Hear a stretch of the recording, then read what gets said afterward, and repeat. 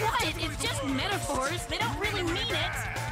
Our lyrics aren't metaphors. We really mean it. Literally. Yeah, okay. Literally. And I really mean it when I say I really Listen think we should go. Huh?